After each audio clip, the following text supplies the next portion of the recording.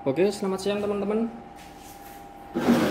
Jumpa lagi dengan saya di sini di channel General Lights yang mana menyajikan video-video unik, terkadang video aneh. Ya, tapi yang pasti modifikasinya nggak aneh ya, tetap cakep. Rapi, presisi, itu yang penting. Ini teman-teman, saya ada user user lama nih. Dulu motornya Matic besar gitu kan. Nah kali ini beliau ada truk teman-teman berisik banget tuh. Beliau punya motor Mio, Mio Sporty. Motornya cakep. Mio Sporty itu karburator ya teman-teman ya. Dia bikin jadi injeksi dengan riset yang beragam akhirnya motor itu bisa nyala.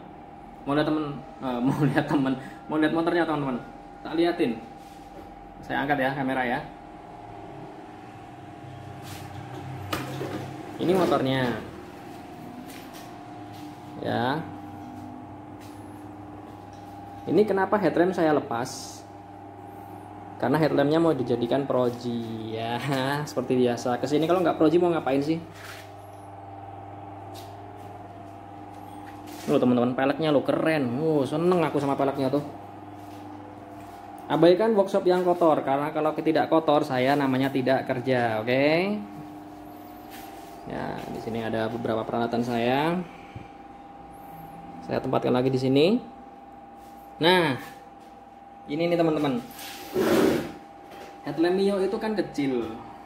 Sedangkan sang user itu user lama sih semenjak saya awal 2000 berapa ya? 2003 2012 mungkin ya saya kenal sama beliau ya. Beliau order dia tuh order lampu LED tapi bikinan saya. Yang yang model ada cut off nya itu buat motor besarnya itu. Nah kali ini dia pakai headlamp yang kecil headlampnya Mio. Ini sudah saya bikin sirkulator ya teman-teman ternyata memang walaupun proyektornya kecil ini tetap harus ngebobok belakang sini. Sehingga saya bikinkan sirkulator di sini. Saya sebutnya sirkulator. Nggak tahu yang benar apa. Yang jelas sirkulator itu untuk sirkulasi udara panas di dalam sini biar nggak terlalu pengap ya. LED pun juga bisa merasa pengap. Soalnya dia akan menghasilkan panas ya. Biar nggak mudah rusak juga. Aliran udara lancar. Baik. Ya seperti itulah gambarannya teman-teman ya ini sudah saya tadi belakang udah saya bobok ya. Ini kebetulan juga udah selesai saya nggak sempat uh, kasih video waktu ngeboboknya. Oke ini proyektornya pakai 1,8 inch ya teman-teman ya. Kalian udah tahu tentunya 1,8 inch keluaran dari mana mereknya apa saya nggak akan menyebutkan di situ. Pasti kalian juga udah tahu dia ingin tampilan OM look. Nah seperti ini. OM look ya teman-teman ya. Terlihat seperti pabrikan. Artinya di sini chrome itu masih ada. Terus semburat biru aslinya reflektor Mio ini masih ada. Dan lubangnya nggak kelihatan loh teman-teman ya. Seperti biasa memang saya suka yang presisi jadi saya bikin presisi oh ya mau saya tunjukin minta lampu senja ice blue itu.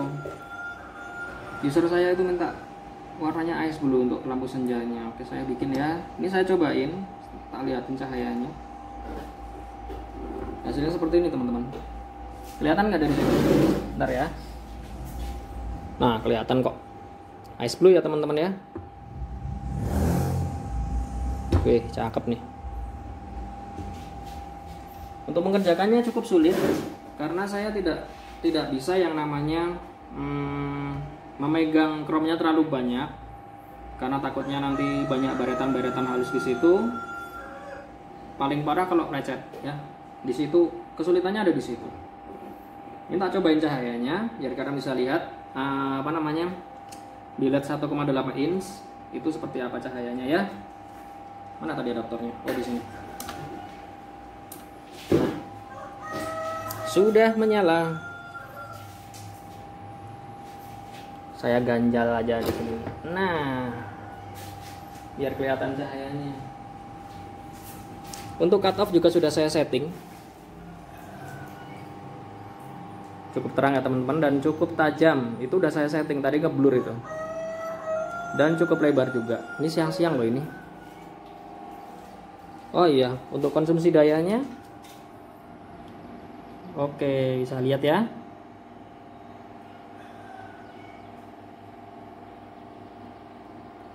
Oke bagus.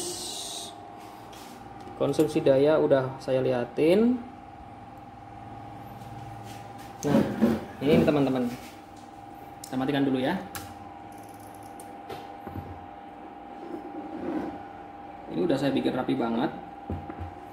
Ini mungkin video yang paling pendek mungkin ya teman-teman yang saya yang saya bikin ya. Karena ini pengerjaannya sulit tapi cukup simpel nggak terlalu banyak bobokan nggak terlalu banyak lem. Yang jelas ini kuat ini saya baut loh ini. Saya baut di belakang sini dua biji. Kencang banget. Skrupnya ini hanya untuk penahan si kotak ini supaya tidak lepas. Ini sebentar lagi mau tak naikkan ke motor jadi untuk menghemat waktu juga saya cukupkan video sampai sekian. Bagi kalian yang ingin bertanya perkara apa ya namanya headlamp headlamp kecil headlamp kecil pakai headlamp ah, pakai headlamp pakai proyektor besar itu juga terkadang bisa dilakukan. Terus headlamp besar kalau dipakai yang kecil ya jangan ya. Nggak cocok kalau orang Jawa bilang nyemli.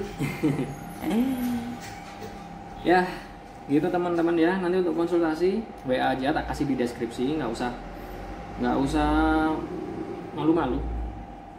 Mungkin kalau misalkan kalian komen di YouTube juga boleh cuman untuk respon saya di situ agak lambat karena tidak selalu setiap hari saya buka YouTube ya. Jadi lebih enak kalian langsung ke WA aja. Nggak usah sungkan. Walaupun telat sedikit sebentar pasti akan dibalas kok. Ya. Oke teman-teman.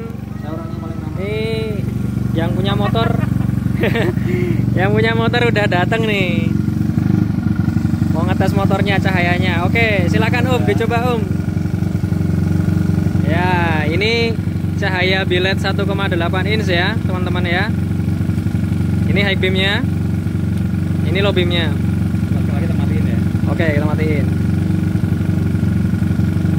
bisa dilihat ya teman-teman ya. Di situ hotspotnya banyak di tengah. Bagi kalian yang tidak terlalu pingin ke sampingnya nggak nggak terlalu penting buat sampingnya, lebih penting di tengah. Dan ruang headlampnya kecil, ini bisa jadi pilihan ya teman-teman ya. Boleh ditembakin ke jalan om. Nah sampai sana tuh. Oke coba high beamnya dong. Wow mantap kan? Ini kecil-kecil cabai rawit nih.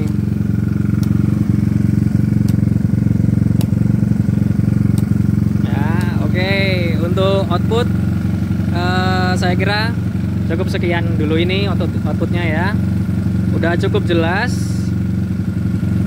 Jangan lupa pokoknya di-share ke teman-temannya yang membutuhkan, yang pengen tahu cahayanya kayak apa. Ya dikasih tahu kan, di-share di grup atau di mana pokoknya gitu ya nggak usah banyak ngomong juga aku ini injeksi lo teman-teman lo ini oh ini injeksi nih